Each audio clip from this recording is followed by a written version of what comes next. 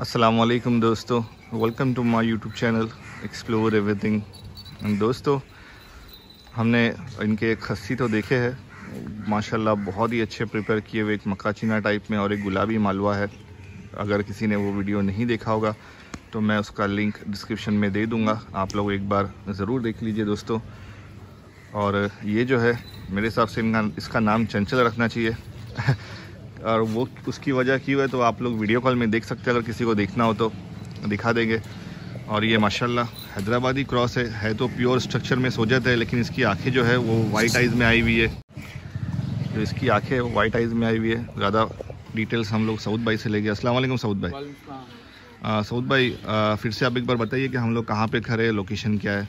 मोरबा में मोहम्मदिया मस्जिद के पास करें मोहम्मदिया मस्जिद। हाँ ऊपर का मोहल्ला। ऊपर का मोहल्ला।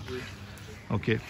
और ये मानगांव से कितना दूर है ये? मानगांव से पाँच किलोमीटर दूर है। पाँच किलोमीटर क्योंकि यूजुअली लोग कैसा होता है कि मानगांव को जानते हैं मुरबा को बहुत कम लोग जानते हैं क्योंकि जो मोस्टली ट्रांसपोर्टेशन वगैरह आता है वो मानगांव में ही होता है। तो आप क्या बता रहे हैं आप आज हमें? आ, ये सोजा तो हैदराबाद में क्रॉस बच्चा है वाइट आइज़ में। वाइट आइज़ में है। आठ नौ महीने का बच्चा है ना। आठ नौ महीने का।